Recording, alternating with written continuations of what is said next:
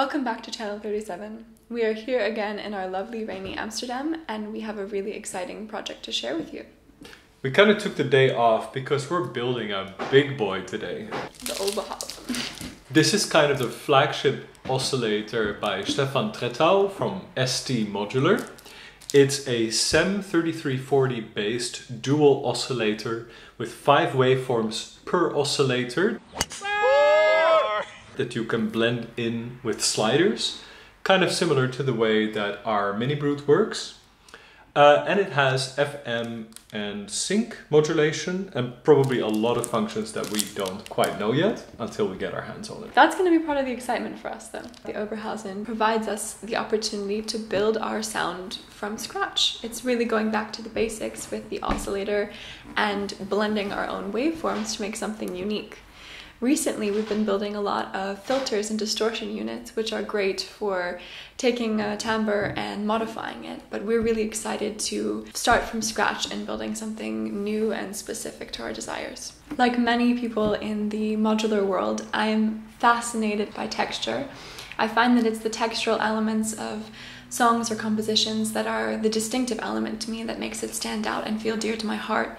And so I am excited about how we can implement it in our own composition. Now you may have noticed the big brown box that takes center stage on our table today. This box is filled to the rim with different parts for this oscillator. Um, the first thing, of course, is the front panel and PCB, which we were gifted by Stefan Trettau and Philip Wise from Pusherman.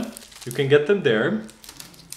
We've decided to build this module from scratch, which means we're going to do the SMD placement as well. All of the other parts come from different sources. We have some from Pusherman, uh, we have some CEM chips from Electric Druid, we have a few hard to find parts from AliExpress, some parts from our friends at Thonk.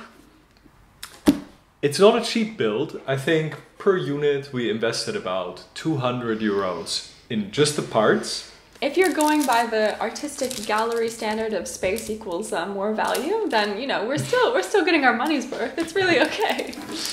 After we install this one, next thing you'll see us build is a new rack because we're out of space. Thanks a lot, Stefan Trettau. the module is so complex and documentation on the internet is relatively sparse, so we hope to tell you more about it after we've built it and played around with it a little bit. So join our review after the build video. So this is the team for this project. On the left we have Lily. She will be womaning the laptop to use the iBOM. And on the right we have Sander from Melodio. I started getting into modular and DIY for about like two, two and a half years ago. Once I was selling uh, a case, I met Casper. And uh, right we kept in touch and uh, became friends and he also joined in into the DIY uh, stuff. And now we're building this Oberhausen this dual complex oscillator together and uh, it's gonna be great. Here, this is the iBOM. It's really nice. So it shows you where the parts are placed. Yeah. So you can tell us like top left or wherever. So Casper was um, telling me, oh, I, I was able to find the iBOM, but I'm not used to hearing the acronym. So I was like feverishly Googling. And then I, I got all these articles about how to make your own bomb and I was like, oh my god, do I even know this man? So we'll just start with the resistors, I think. You don't want to do the chips first? Uh, no, because we're going to do SMD placement, right? So we yeah. uh, just bake the whole thing in one go. Mm -hmm. Yeah. The first step is to use a syringe of solder paste to apply a tiny dot of solder paste to all of the pads for passive components. For the ICs, apply a thin line of paste near the outside of the footprint on both sides. Because there are over 450 parts in this build, we will not name each part individually. Instead we will show you how to use the Interactive Bill of Materials, or IBOM. Go to the ST Modular GitHub profile. Then open the Eurorack repository. This contains all of Stefan Trettau's Eurorack modules including the Oberhausen. Click on the green code button and download a zip for the repository. Then extract the zip. Go to the Oberhausen folder. Inside there are two files that you need. First is the Oberhausen Bill of Materials. This is the file that you use to order parts for your build. Here you will see a complete list of all the parts that you need to place, sorted by value. Let's start with the 300R resistors. Their numbers are R43, R148 and R204. The second file that you need to open is the IBOM. Open the IBOM folder and then the IBOM file. Now you see a schematic overview of the top of the PCB and the bottom of the PCB. Let's fill out the value of the first resistor, R43. If we hover over the part number, we see it highlighted approximately in the middle of the board. There you will find a footprint labeled R43. Place the resistor on that footprint. Do this for all of the labeled parts in the bill of materials. To do this efficiently, it's helpful to have a friend look up the part numbers in the IBOM. First, place all of the passive components, starting with the resistors. Then the ceramic capacitors.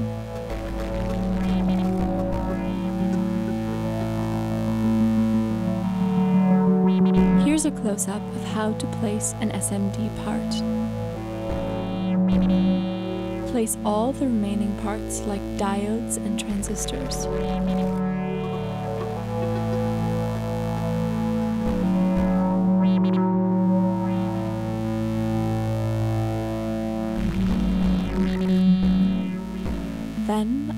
Electrolytic capacitors, all of the SMD trim pots, and finally the op amps and other ICs.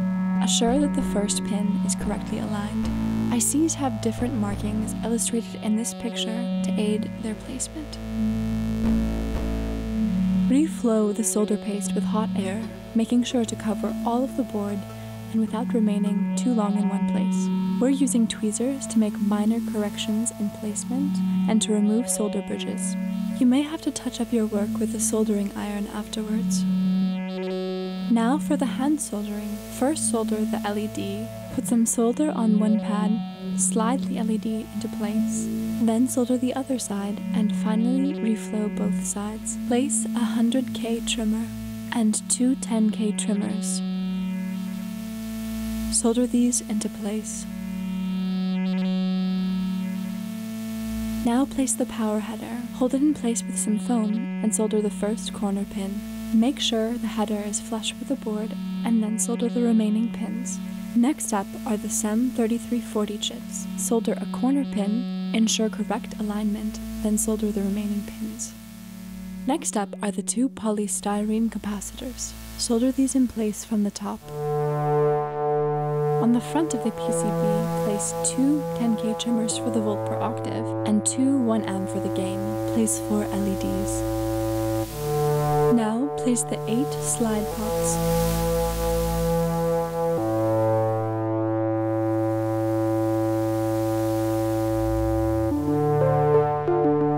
Place the 50K dual gang pot, 600K pots,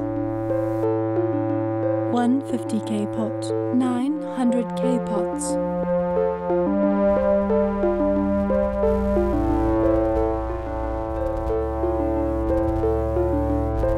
Twenty-one jack sockets. Inserting the top connector at an angle helps keep them in place. One DPDT switch.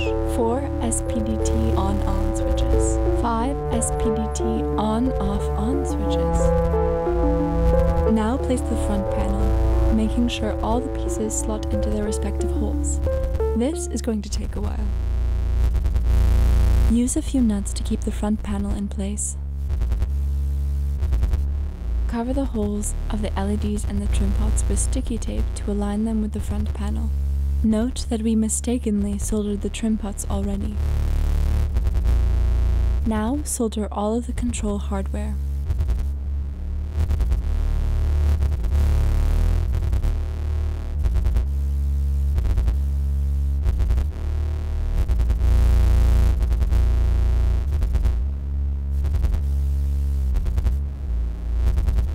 It's time to test your module.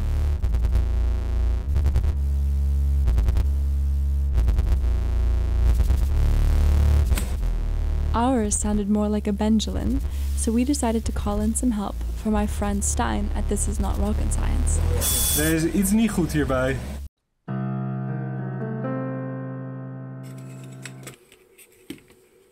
He helped us debug the module. What do you do when you just fried your last SMD diode, Stein? You take the biggest one you can find, and you cut it into shape. Note that it was Casper's fault that the diode blew. You get this tiny, almost SMD diode.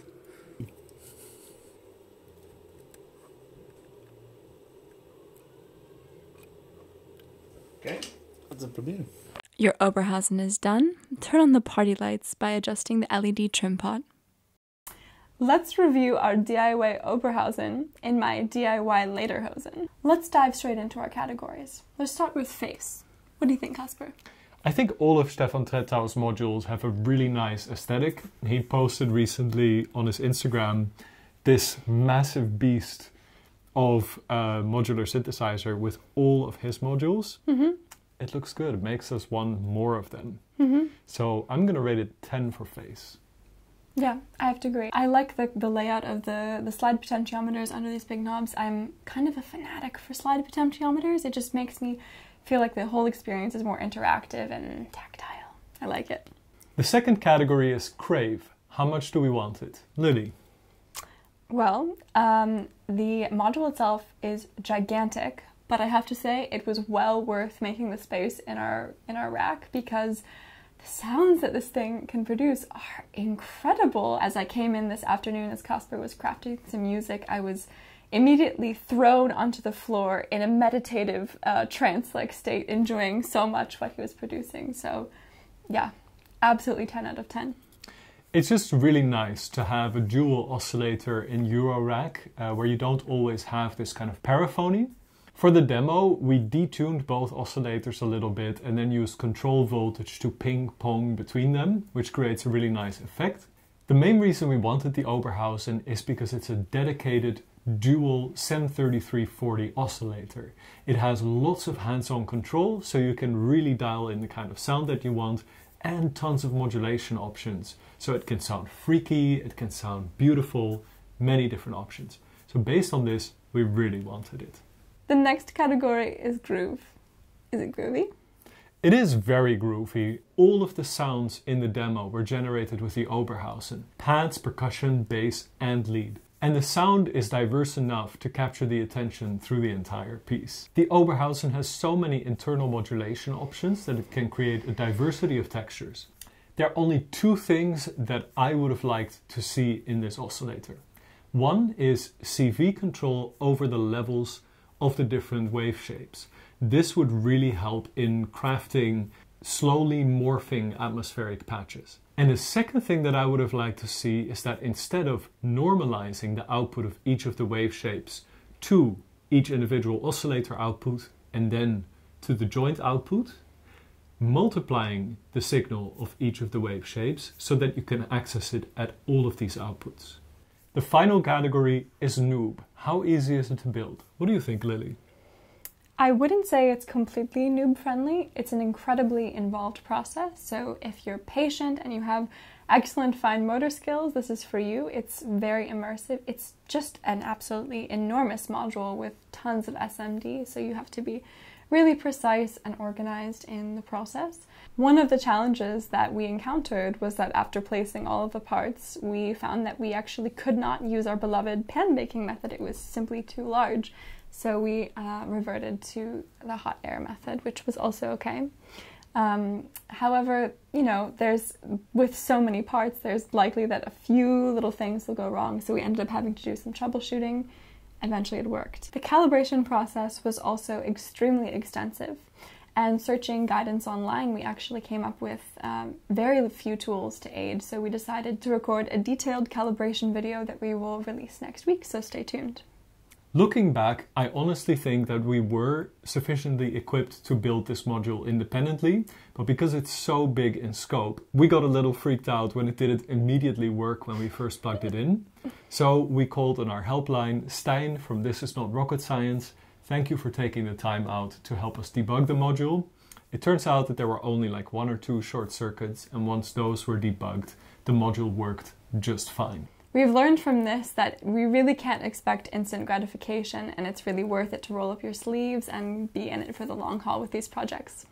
And we know how to debug problems like this, so we should have just trusted the process, broken out our multimeter and oscilloscope, uh, check for shorts on all of the parts, check for correct orientation on polarized parts, and that would have gotten us through that tight spot. We also learned a few things in the process of building this module. The first, as Lily mentioned, is that it was too big for the pan baking method, and we had to use hot air to solder it. I'm not a big fan of hot air. I think it unnecessarily heats up the parts. You have to be really precise about hitting all of the different spots. You have to get your airflow just right so that you don't launch the parts off the PCB.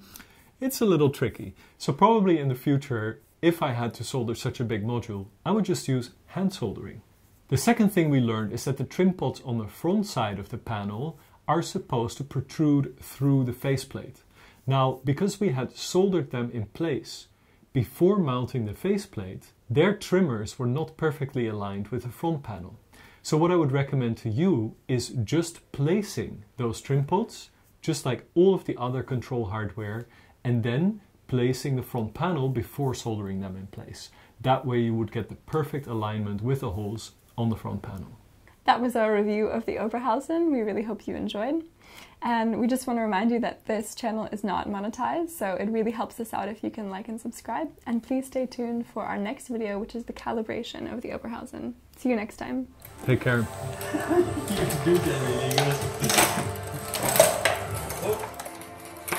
No!